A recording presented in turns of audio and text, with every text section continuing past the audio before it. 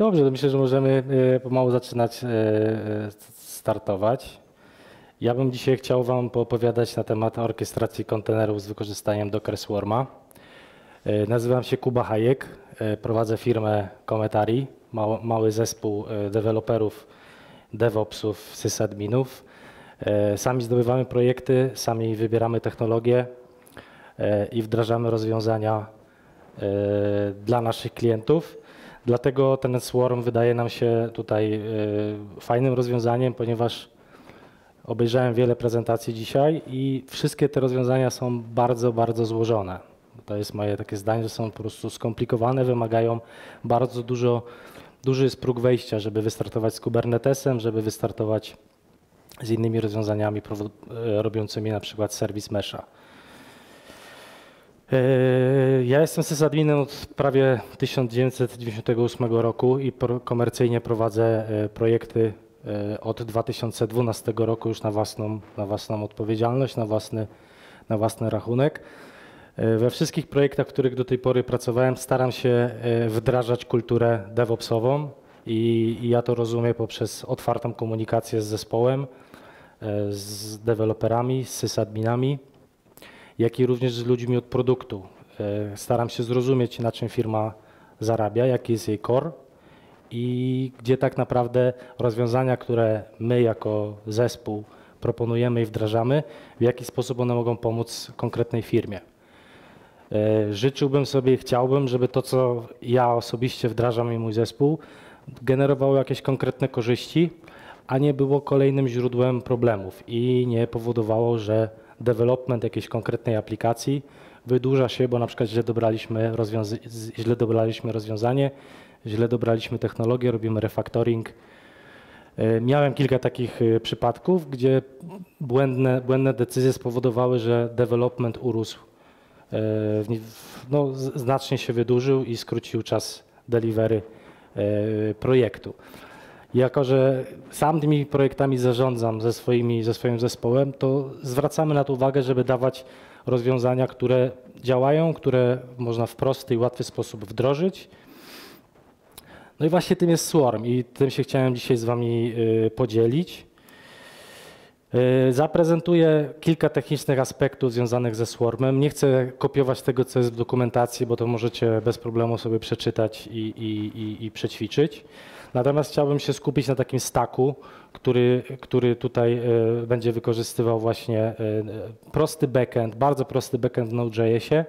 Będzie wykorzystywał konsula jako Key Value Store, trafika jako Edge Router i trafik będzie e, świetnie sobie tutaj radził z Let's Encryptem, będzie dbał o będzie dbał o generowanie certyfikatów na podstawie domen, które mamy, które mamy dodane do naszych serwisów będzie dbał również o e, odświeżanie tych certyfikatów. Jak zapewne wiecie, Let's Encrypt ma na 3 miesiące certyfikaty ważne, więc wcześniej pracując z HA Proxy, z Nginxem czy z innymi różnymi serwerami www webowymi, musieliśmy sami o to zadbać, aby te certyfikaty automatycznie się pobierały, e, odświeżały i serwer się reloadował.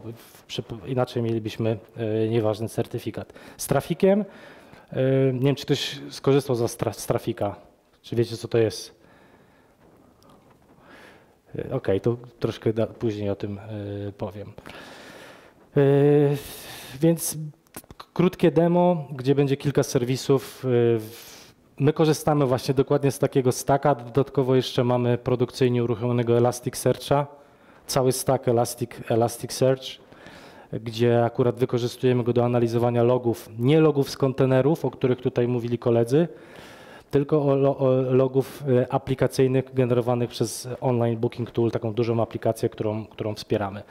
No i całością zarządza Swarm, który na, tak naprawdę jest, e, jest bardzo, bardzo prosty. E, no to czym ten Swarm jest? Tu kilka slajdów takich może nie będę chodził bardzo głęboko w techniczne detale, po prostu powiem Wam, co ten Swarm ma, jak ten orkiestrator działa i, i jak go po prostu, w jaki sposób on się powinien znaleźć na naszym komputerze, na naszym serwerze. Swarm jest zainstalowany by default, jeżeli macie Docker D, e, Docker Engine zainstalowany na, na Linuxie, na Macu, na, na Windowsie. Na Windowsie nie testowałem, na pozostałych innych platformach z powodzeniem. Jeżeli mamy Docker, Dockerd uruchomione, wystarczy wydać jedno polecenie Docker Swarm init i mamy zainicjalizowany jednonodowy klaster. Wydając kolejne polecenie Docker Swarm join i dash dash advertise address możemy wskazać na który adres chcemy stworzyć token autentykacyjny dla kolejnych nodów, czyli wydając takie polecenie na, na serwerze, na tym pierwszym serwerze, na którym zainicjowaliśmy noda, możemy wydać Docker Swarm join. W odpowiedzi dostaniemy token, który przeklejamy na kolejny serwer, który ma znowu zainstalowane Dockerd. I tak tą czynność możemy powtórzyć kilka razy i dzięki temu będziemy mieć kilkunodowy klaster. Wszystko to, co tutaj pokazałem, działa bez najmniejszego problemu na jednym serwerze. Nie musimy mieć klastra, nie musimy mieć specjalnie dedykowanych nodów. Wszystko to działa za pomocą jednego prostego polecenia Docker Swarm init.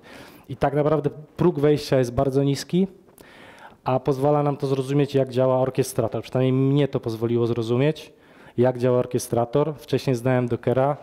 Łukasz świetną prelekcję zrobił na początku, jak tworzyć obrazy, więc jeżeli taka ścieżka rozwoju, którą ja bym sobie zaproponowałem i którą, którą zdecydowanie polecam, to jest najpierw świetnie zrozumieć, na czym polega Docker, jak tworzyć obrazy Dockera, lekkie obrazy Dockera, co to jest to 12 Factor App i wybrać sobie z tego E, kilka fajnych e, aspektów, choćby nawet Immutable Infrastructure, gdzie możemy mieć jeden image, który uruchamiamy na wielu platformach, na wielu środowiskach i tylko parametryzujemy go poprzez wstrzykiwanie e, zmiennych środowiskowych.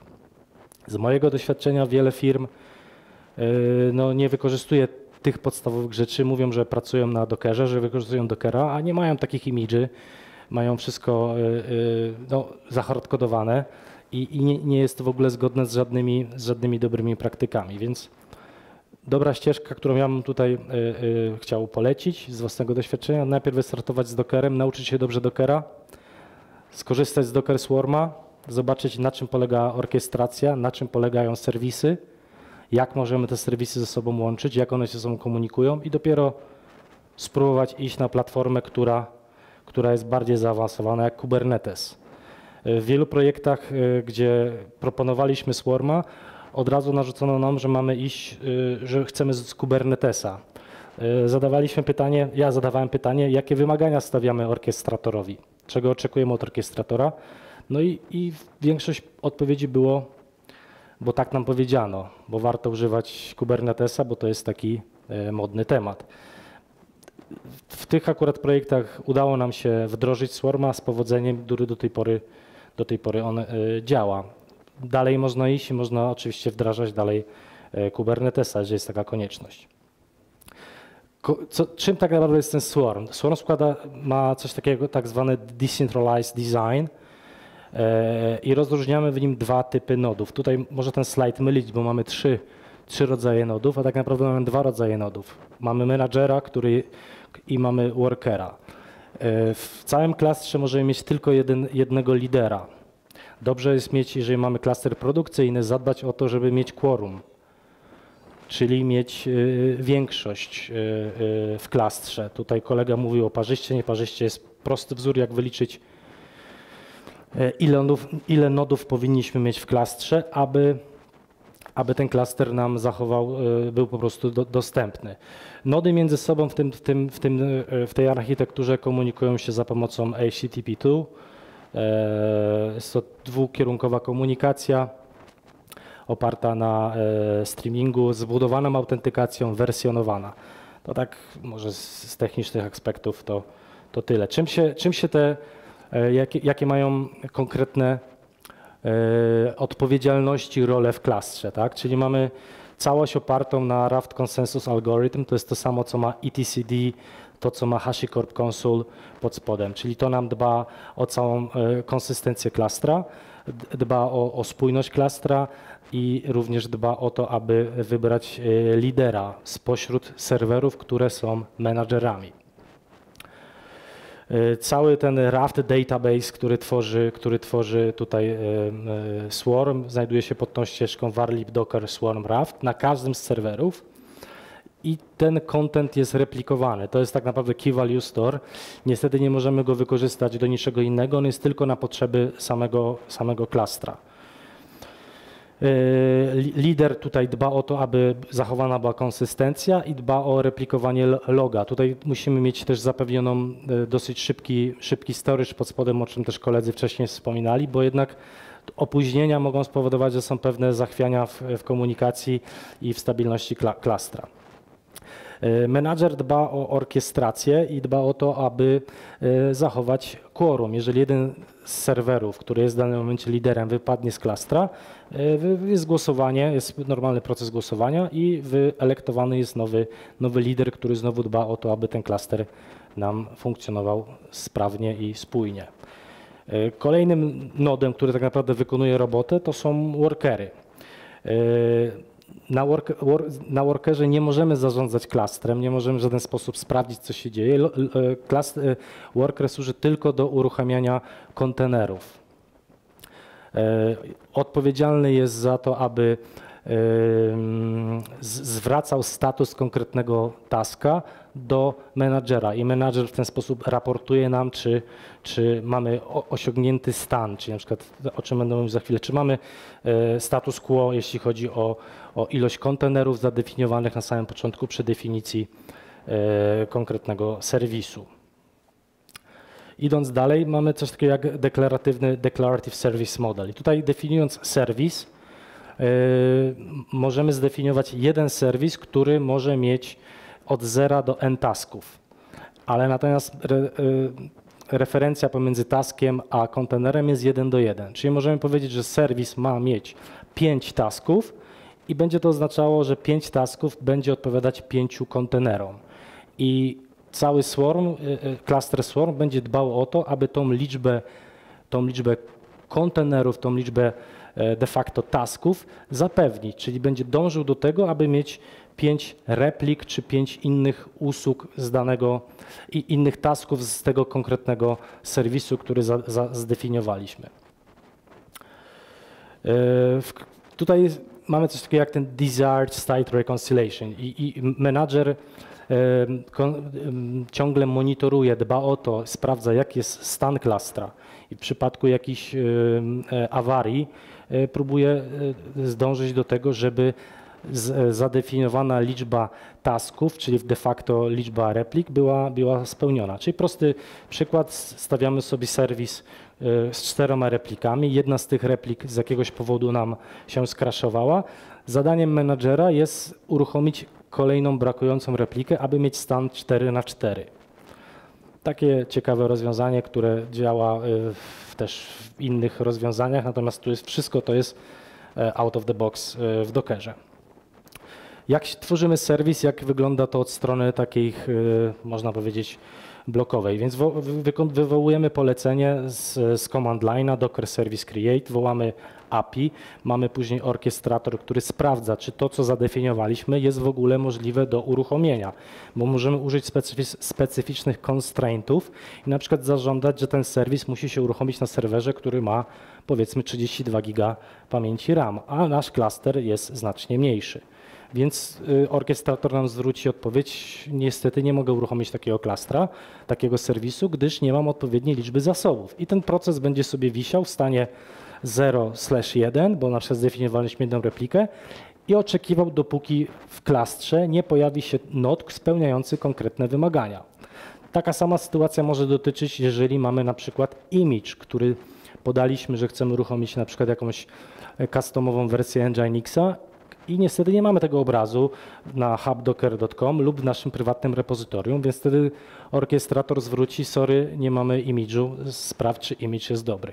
Jeżeli wszystkie parametry się zgadzają, wtedy scheduler zaczyna e, sprawdzać dostępne fizycznie zasoby, pamięć na serwerze i przypisuje konkretny, konkretny już task, konkretne zadanie do workera. No i to, to cały czas się powtarza i cały czas to jest sprawdzane.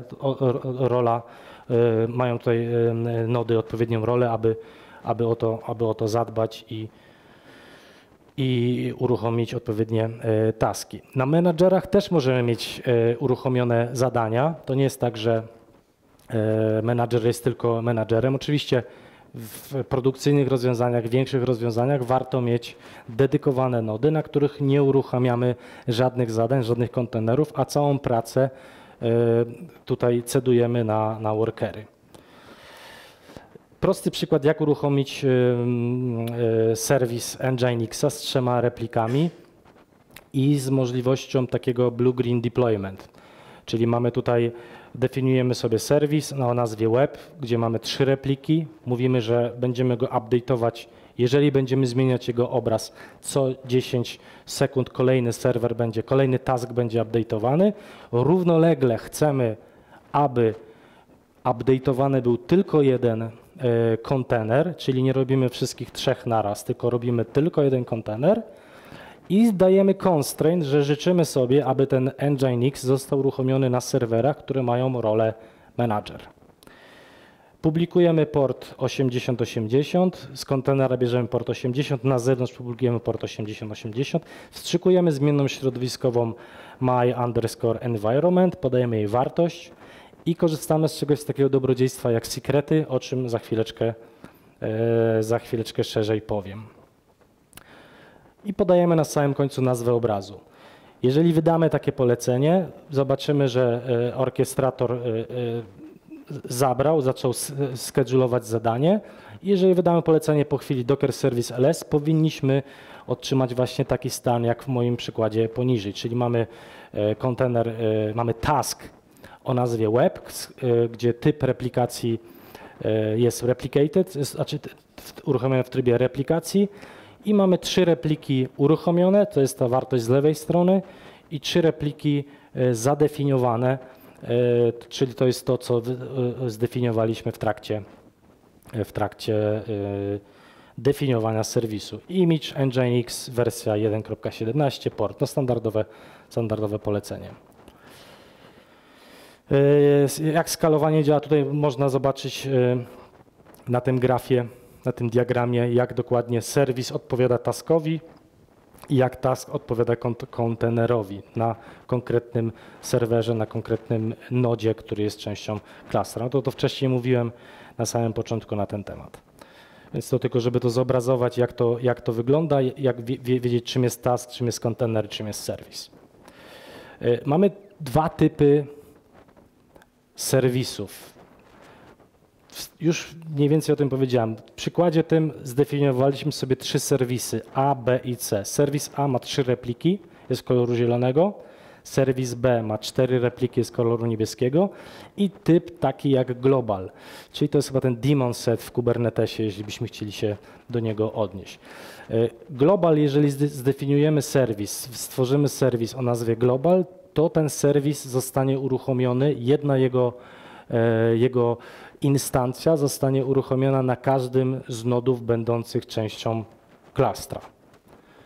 Więc to jest bardzo fajne rozwiązanie, jeżeli chcemy na przykład użyć jakiegoś node exportera, C-advisora do monitorowania, do monitorowania yy, naszego środowiska, no to uruchomimy C-advisor mode equals równa się, yy, równa się global i Swarm zadba o to, żeby jedną, dokładnie jedną instancję uruchomić per każdy, per, per każdy serwer.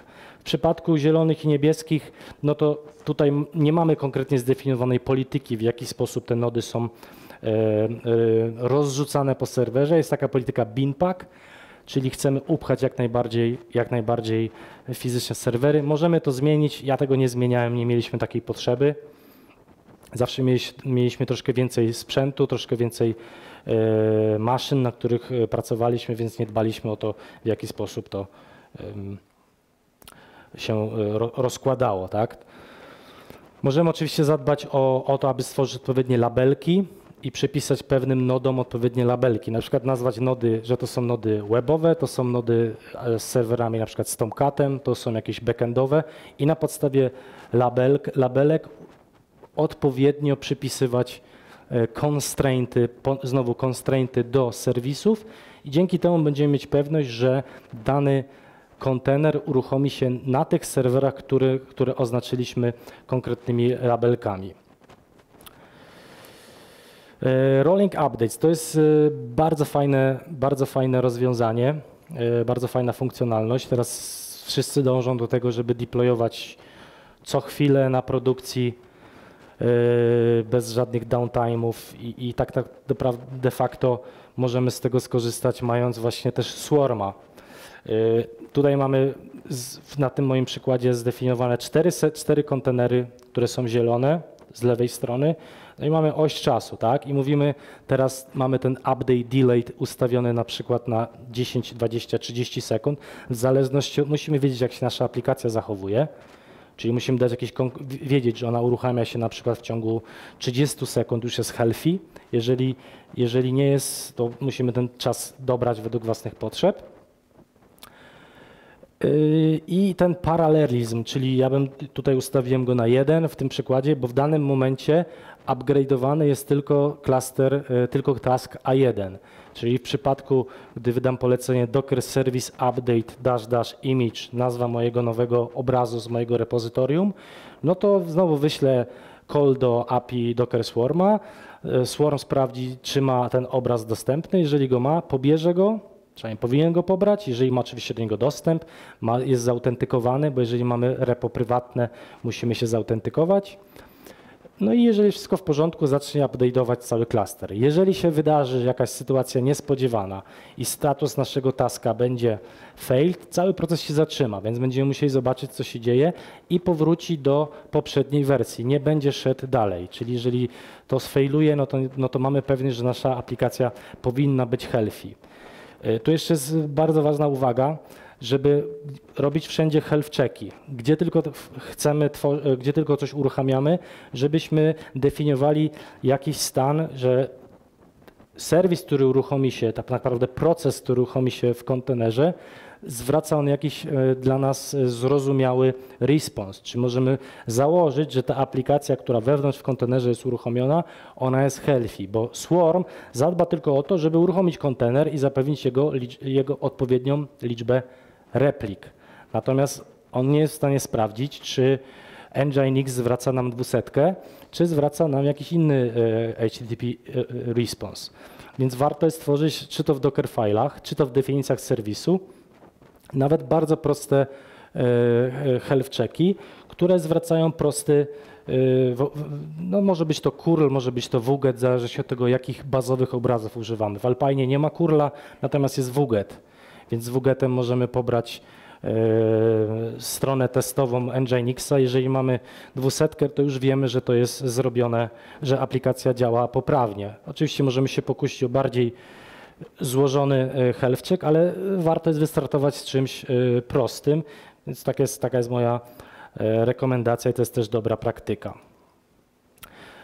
Routing mesh to jest bardzo fajne, bardzo fajne i użyteczne, użyteczna funkcjonalność, która działa w ten sposób, że jeżeli mamy klaster składający się z kilku nodów, to w tym przypadku mamy trzynodowy klaster i mamy uruchomioną aplikację A1, tu jest, powinno być A2, ok. Mamy uruchomioną aplikację, która ma dwie repliki. My nie mamy tutaj kontroli, też nie zdefiniowaliśmy, bo nie widzę zasadności, gdzie te nody, gdzie te, e, gdzie te taski, gdzie te kontenery mają się fizycznie uruchomić. Niech o to zadba, niech o to zadba e, e, orkiestrator ale mając taką konfigurację możemy wysłać request HTTP do każdego z trzech nodów i jeżeli request trafi do serwera y, trzeciego, nod 1, 2, 3, jeżeli trafi do serwera y, trzeciego, no to automatycznie zostanie przekierowany do jednego z istniejących kontenerów, więc to jest świetne rozwiązanie. Y, nie musimy wykonywać żadnych tutaj specjalnych operacji to po prostu działa nam out of the box. Bardzo użyteczna funkcjonalność. E, sekrety. To jest świetna też sprawa, ponieważ mamy ten Key Value Store, pozwala nam tworzyć, stworzyć kryptowane wartości w postaci blobów. My to w praktyce wykorzystujemy do, na przykład mamy integrację z Jirą, więc tam musimy mieć odpowiednie wymianę E, o, autową, musimy mieć klucze, więc tworzymy sobie e, za pomocą takiego, takiego fajnego polecenia e, klucz, który ma wartość enkryptowaną. I teraz wiem, że z każdego serwera, który jest częścią klastra, ja mogę mieć do tego klucza dostęp. Ja go nie mam by default od razu, tylko ja muszę jawnie zdefiniować, tak jak zdefiniowałem to kilka slajdów wcześniej, gdzie był ten przykład z Nginxem, że chcę mieć dostęp do konkretnego y, klucza. I te klucze wartości tych kluczy, znaczy ścieżki, one są e, tworzone w, w run secrets, nazwa mojego klucza. I to jest TMPFS. Jeżeli ja zdefiniuję przy tworzeniu serwisu, że ja chcę mieć taki e, dostęp do takiego klucza, to Swarm stworzy mi slash run slash secrets my underscore key i tam będzie wartość tego konkretnego, e, konkretnego klucza. Bardzo fajne rozwiązanie do trzymania, haseł, trzymania e, certyfikatów SSL dla Nginxa, trzymania API i różnych innych rzeczy, o które chcemy zadbać, żeby były kryptowane. Kolejną fajną rzeczą jest Docker Config. To jest bardzo podobna funkcjonalność do tą, do, tą, do którą e, do Docker Secret, z tą różnicą, że to nie jest szyfrowane. Natomiast jest tu jeden, jedno, jedna niedoskonałość taka, że nie możemy, jeżeli ja na przykład stworzę w ten sposób e, e, plik Nginxa, o nazwie nginx.conf w moim swarmie, to jeżeli teraz zmodyfikuję Nginxa i będę chciał wykonać jeszcze raz takie polecenie, to Swarm mi zwróci, sorry, już taki klucz istnieje, musisz zmienić jego nazwę. Ale jeżeli już tą nazwę mam gdzieś przypisaną do kontenera, no to muszę zastanowić się, w jaki sposób zrobić rotowanie e, konfigów i rotowanie dokładnie to, jak samo działa z secretami. I jest taki tutaj workaround, gdzie można stworzyć taką zmienną środowisko, taką zmienną i ją używać w swoich stack filach, o których za chwileczkę, za chwileczkę powiem. Jeżeli nie będziemy mieć żadnej wartości, dla Nginx config będziemy mieć tylko jeden, no to wiadomo, że weźmie jako jeden. Jak podbijemy tutaj wersję, to automatycznie stworzy się nam config, dodany zostanie do Swarma i zostanie przypisany do naszego serwisu. Tak. No i co dalej? Mamy y, wiele jeszcze fajnych y, y, funkcjonalności. Wspomniałem już, że oczywiście całość jest secure by default. To jest działające, bezpieczne, bezpieczna jest komunikacja pomiędzy nodami, to już zapewniają protokoły. My jako deweloperzy, jako DevOpsi nie musimy się o to martwić. Są te constrainty, o których powiedziałem, to jest bardzo fajne rozwiązanie. E, kolejnym bardzo ciekawym jest placement preferences, gdzie możemy sobie wskazać, bo constrainty są, jeżeli nie zostanie constraint zapewniony, bo na przykład nie mamy zasobów, to serwis nam się nie sprowizjonuje, nie uruchomi się.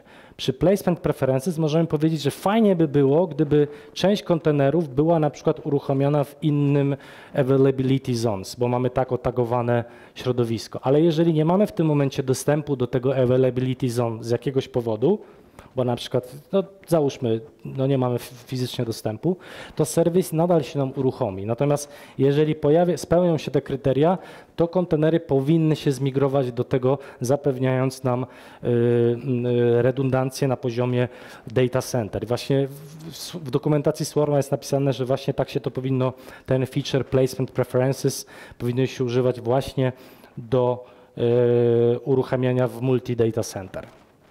Load balancing, już o tym wspomniałem.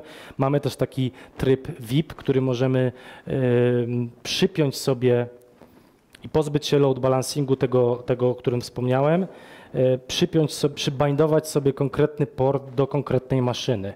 Jeżeli na przykład wiemy, że na tym konkretnym nodzie zawsze będzie Nginx i możemy go zreplikować razy 2, 3, 4 i wiemy, że na tych nodach nic się więcej nam nie uruchomi, to możemy wystawić ten port za pomocą mode równa się host i wtedy przybindujemy ten adres IP bezpośrednio do, do noda, do, do, do, hosta, e, ale stracimy ten, e, ten routing mesh, o którym wcześniej wspomniałem. Jeżeli wiemy, co robimy, to na pewno pozwoli nam to troszeczkę e, przyspieszyć aplikację.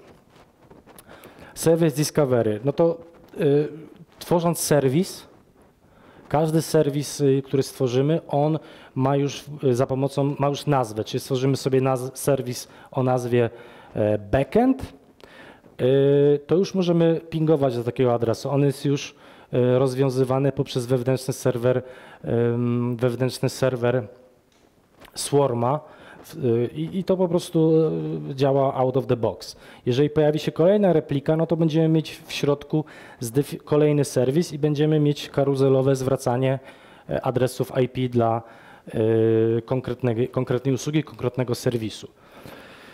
Mm, Overlay Networks, bardzo fajna funkcjonalność, gdzie możemy stworzyć sobie sieć i ta sieć zostanie rozpropakowana pomiędzy wszystkimi serwerami, jeżeli do niej zdeployuje się na niej task i task zażąda dostępu do konkretnej sieci, to z tego noda pojawi się dostęp do tej sieci.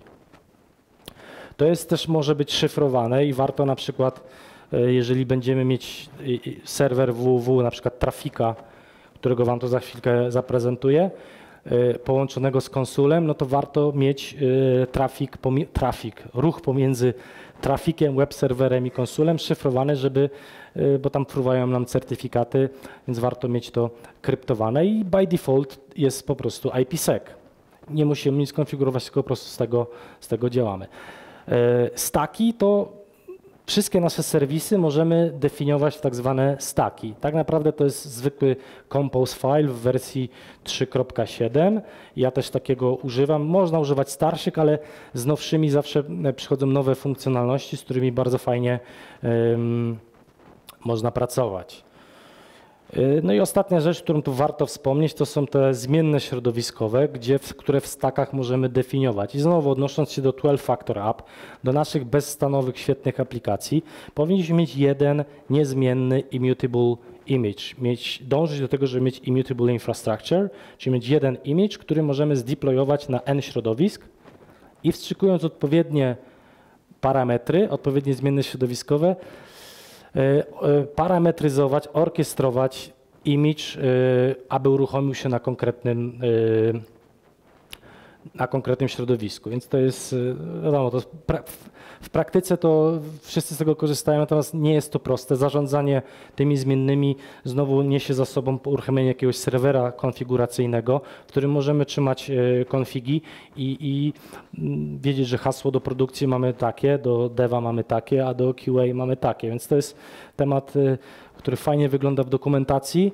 natomiast jest to wyzwanie, w jaki sposób zarządzać e, z konfiguracjami w środowisku, e, e, gdzie mamy wiele środowisk takich preprodukcyjnych, stagingowych i w końcu e, środowiska produkcyjne.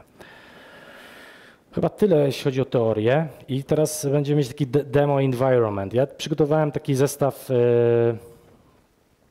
e, aplikacji, o której wcześniej mówiłem i chciałbym spróbować e, pokazać Wam, jak to działa. Tylko najpierw byśmy przeszli, co ja przygotowałem, żebyście wiedzieli, o czym, y, co będę chciał pokazać. Y, Całe środowisko jest uruchomione na AWS-ie, na najlżejszych T2 microinstances, czyli nie mamy nic y, bardzo mocnego. VM-ki sprowizjonowane są za pomocą Docker Machine. To jest, tak jak mówię, do celów demonstracyjnych. Wiadomo, że jeżeli będziemy to stawiać produkcyjnie, no to warto za- użyć takiej dystrybucji, jaka jest u nas aktualnie w firmie, zainstalować to Dockerd w jakiś tam inny, automatyczny sposób. Cluster będzie się składał z trzech serwerów, z trzech VM-ek i zdeployujemy na nim dwa staki. Jeden stack to jest proxy z konsulem, to proxy to jest ten traffic, to jest bardzo fajny web server i application stack. W application stack będziemy mieć dwa serwisy, Nginx i pod Nginxem będziemy mieć bardzo proste, bardzo proste, e, bardzo prosty backend w Node.jsie, który tak naprawdę będzie zwracał tylko tekst, mówiąc OK, działam, nie działam.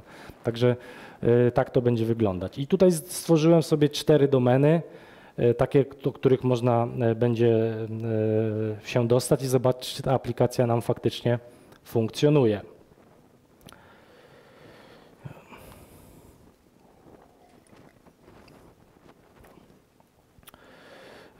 Będziemy mieć trzy overlay networks, czyli sieci, w których będą zamknięte nasze usługi, bo nie chcemy stworzyć jednej wielkiej sieci, do której wrzucimy wszystkie sieci, bo na przykład nie chcę, żeby konsul miał dostęp do e, mojej aplikacji backendowej, bo konsul jest tylko key value storem dla mnie do tego, aby trzymać certyfikaty e, SSL-owe. Stąd też jest taka separacja na poziomie sieci. Oczywiście to jest zrobione za pomocą tylko i wyłącznie Docker Network Create, ale działa bez żadnych zarzutów. Będziemy mieć trafika, który będzie wystawiał, tak naprawdę będzie pierwszą warstwą, do której będą trafiać requesty i będziemy mieć Nginxa, do którego będzie za pomocą upstreama forwardowane requesty do Node.js backendu. No i czym jest ten trafik? Bo tutaj dużo na temat tego trafika mówiłem. Trafik to jest bardzo lekki router, który y, ma za zadanie, y, który słucha wszystkie eventy generowane przez Docker Swarma i jeżeli się pojawiają nam nowe kontenery albo się nowe kontenery nam downują, to on wykrywa, że są nowe usługi i dodaje je do puli, czyli robi nam load balancing, tak? Oprócz tego jest świetnym rozwiązaniem do tego, aby zadbać o certyfikaty. Zobaczycie w, za chwilę w stack filach, że wystarczy, żebym podał nazwę hosta i spointował DNS, skierował DNS-y do tego, do, do, mojego środowiska i wszystko, i certyfikaty nam się powinny z automatu wygenerować. Czyli nie musimy wołać Let's Encrypta, CertBota i innych rozwiązań. O to zadba e, Trafik, który jest świetnym, świetnym e, toolem. Napisany jest w Go, jest to jedna binarka, jest to bardzo lekkie. I konfigurację całego tego serwera, nie mamy żadnego pliku konfiguracyjnego. Oczywiście możemy mieć zewnętrzny plik, który znowu wstrzykujemy przez docker config, ale możemy robić wszystko przez labelki po stronie naszych serwisów, które tworzymy. Zaraz to Wam pokażę w stack filach. I to jest y, y, świetne rozwiązanie, bo możemy je dynamicznie zmieniać, dynamicznie możemy je dodawać. Nie musimy restartować tego routera i za każdym razem powinniśmy dostać dostać świeży, y, dostać działającą y, zupdate'owaną konfigurację, czyli to jest, y, oczywiście się też horyzontalnie skaluje. E, tak. Diagram, no to o sieciach już powiedziałem, mamy trzy sieci. Sieć, w której jest konsul, sieć, w której jest e, e, proxy network i to jest jedyna sieć, która ma dostęp do internetu. Jedynie w tej sieci będziemy robić expose 8443, bo z tamtej strony będą nam wpadać requesty. Proxy będzie komunikować się do konsula, do sieci, gdzie jest konsul i z prawej strony będzie komunikować się do sieci, gdzie jest nasza aplikacja, czyli wspomniany backend e, Node.js'a. Tak to będzie wyglądać od strony idąc od góry. Czyli będziemy mieć znowu trafika. Trafik będzie pracował w swojej sieci proxy, ale musi mieć też komunikację z konsulem, czyli będzie tak naprawdę miał nogę w dwóch sieciach, w proxy i w konsulu. Idziemy w dół, mamy Nginxa, musi być zawarta komunikacja pomiędzy Nginxem i trafikiem, więc mamy znowu proxy dodaną tutaj, bo trafik i Nginx muszą działać w tej samej sieci. Idąc niżej, Nginx ma pod spodem backend Node.jsowy, ma API, więc znowu musi mieć komunikację z AppNet, więc mamy tutaj AppNet, a AppNet ma tylko dostęp do AppNet, bo nie chcemy, żeby nikt do naszego API z zewnątrz się dostawał. Z, z lewej strony mamy konsula, który, gdzie jest pełnoprawny yy, trzynodowy klaster zachowujący quorum. Yy, stack file. To ja przyłączę się na mojego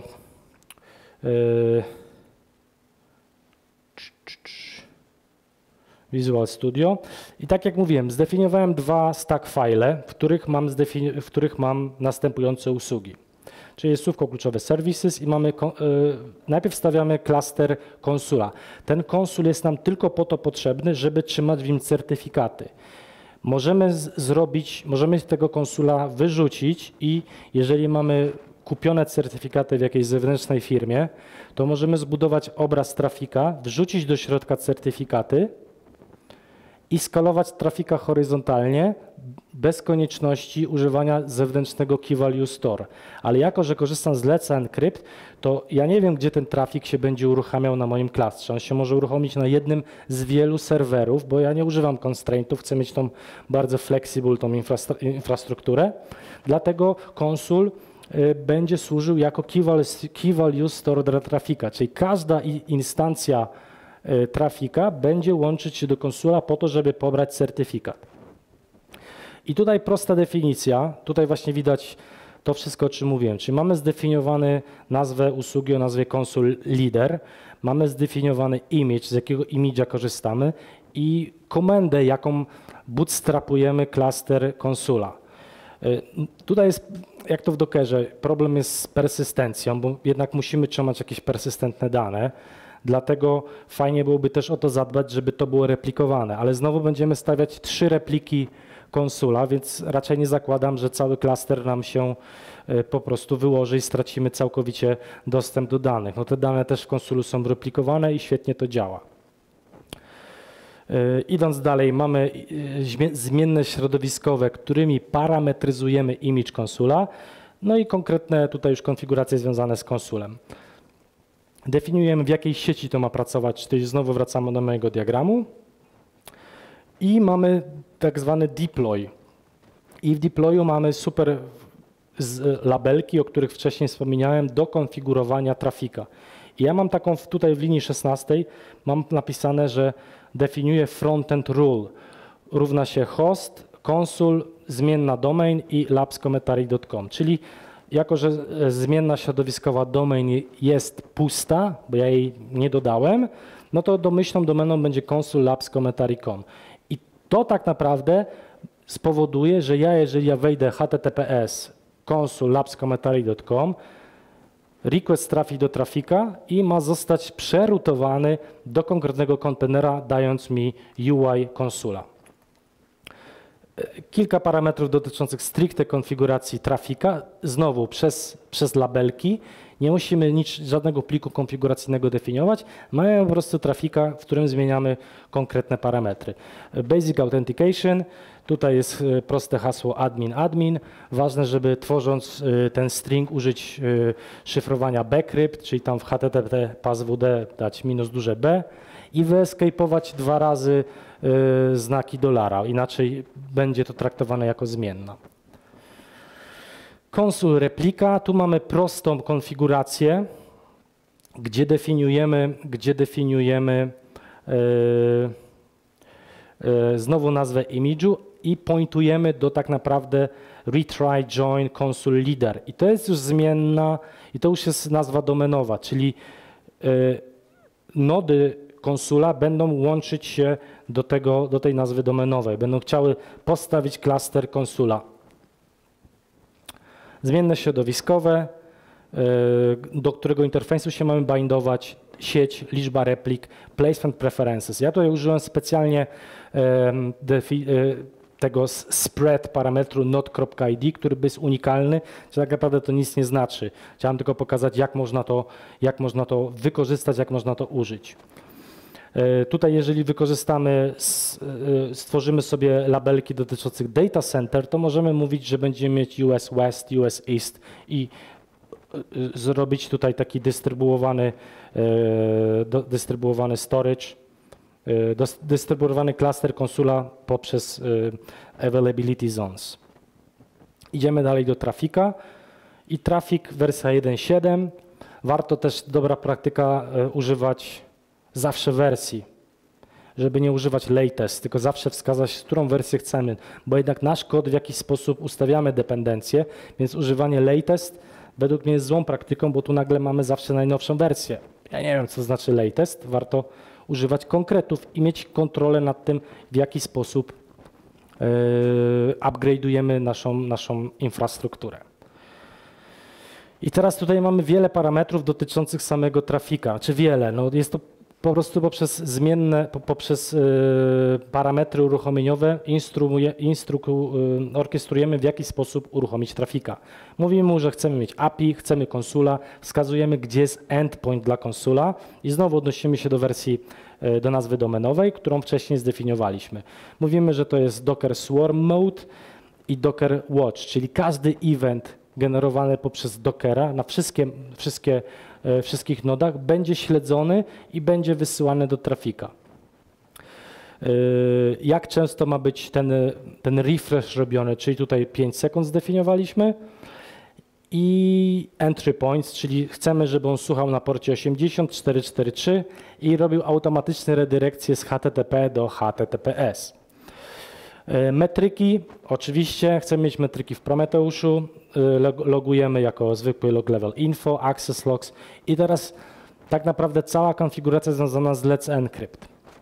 Tak naprawdę te parę linijek powoduje, że każdy host, który ja tutaj zdefiniowałem, będzie miał stworzony certyfikat SSL. Będzie, miał ten, będzie wysłany request do serwerów, zchallenge'owane zostaną serwery Let's Encrypta, do odpowiedzi dostaniemy certyfikat. Całość będzie działa się po TLS-ie. To akurat miałem kola z chłopakiem z trafika w piątek i on mi powiedział, żebym tą, tą, tą konfigurację, y, która była nadal w trzech linijkach, bo ja mówiłem, że chcę się challenge'ować po HTTP. On mówi, że to nie jest szyfrowane, lepiej użyć TLS-a i tak naprawdę jedną linijką można zrobić, że y, mamy zrobioną cert, y, generowane certyfikaty. Także nie musimy wykonywać żadnych dodatkowych operacji. E, tak, sieci definiujemy, czyli mamy traffic console, sieć proxy, porty. Tak jak mówiłem, wystawiamy z całego naszego staka tylko dwa porty, 8443 i troszeczkę mamy tutaj konfiguracji dotyczących znowu deploymentów. Chcemy mieć dwie repliki trafika, czyli na naszym dwunodowym klastrze chcemy rozłożyć e, dwie instancje trafika. Co w przypadku mm, crasha? No chcemy mieć restart w przypadku E, awarii. Placement constraints, tutaj niestety musimy uruchomić trafika tylko i wyłącznie na menadżerach, a czy tylko, na serwerach, które są menadżerami, ponieważ e, on śledzi mm, wszystkie eventy poprzez Warrun, przez socket Dockera. To może być tam pod względem security mniej lub bardziej, ktoś może zwrócić na to uwagę, no ale musimy w jakiś sposób pozwolić trafikowi śledzić, co się dzieje w, naszych, e, e, w naszym Dockerze, więc dlatego wystawiamy wolumen var run docker socket. I znowu samemu, sam trafik wystawia bardzo fajny dashboard, który za chwilkę Wam pokażę. I ten dashboard ja chcę mieć pod nazwą traffic labscommentary.com. Czyli znowu zdefiniowałem sobie, że ten yy, po prostu host, domenę, poddomenę w swojej domenie i spointowałem ją na te maszyny w AWS-ie.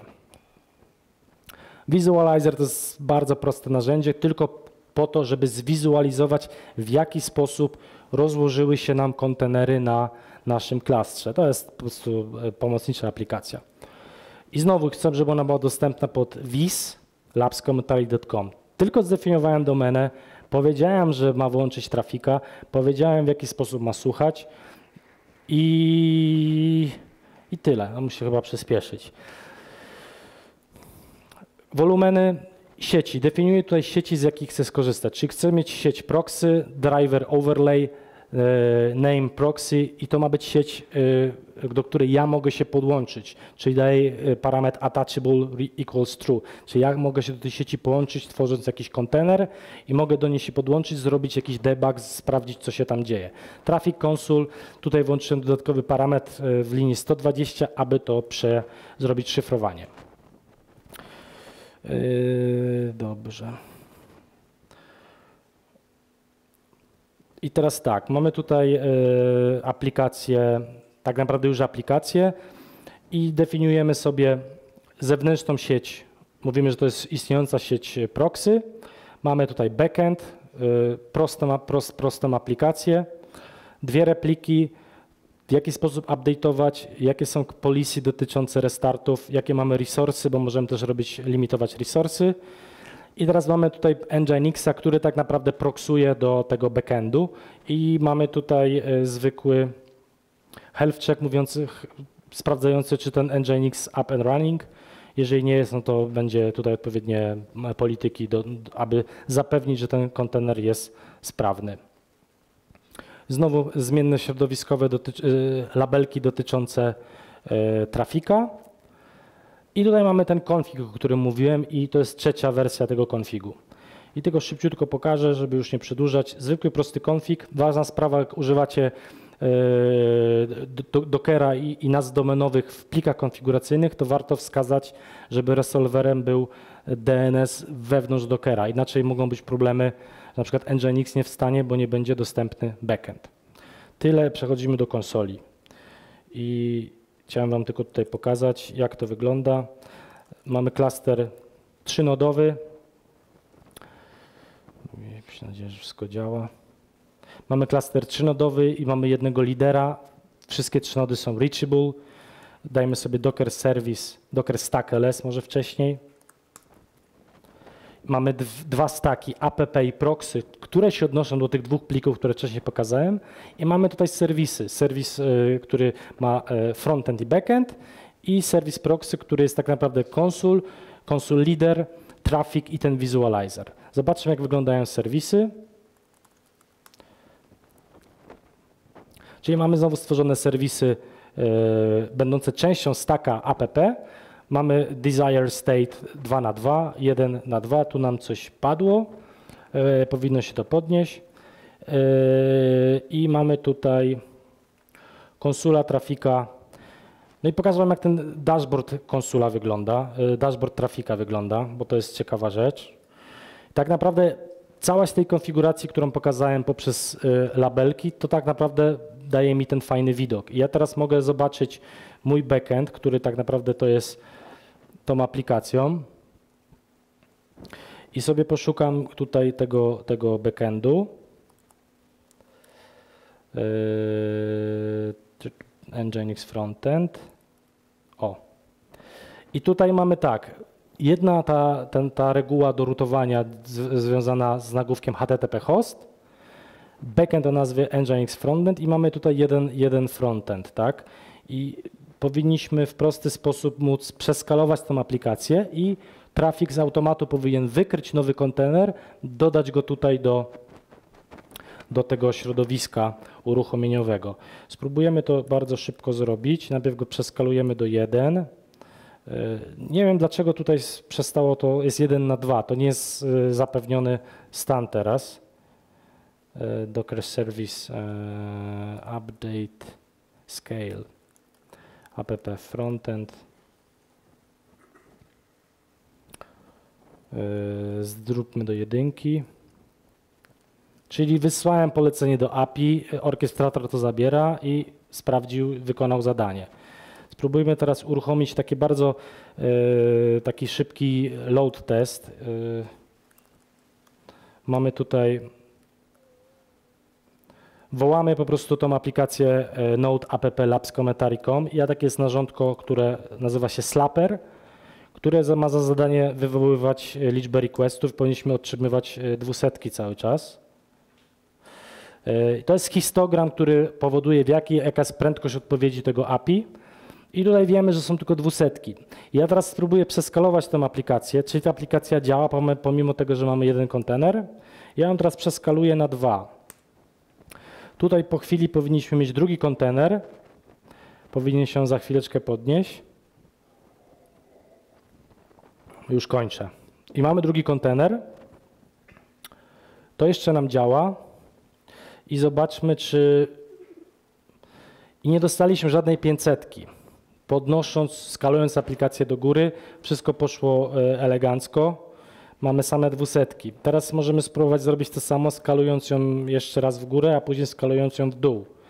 Tak naprawdę powinno to nam zadziałać. Teraz wiemy, że jak tu się pojawi kolejny kontener, pojawił się właśnie, to mamy pewność, że trafik przyjmuje request i y, load balansuje go na trzy serwery. Wag nie definiowałem, można to wszystko samemu odpowiednio zdefiniować. Yy...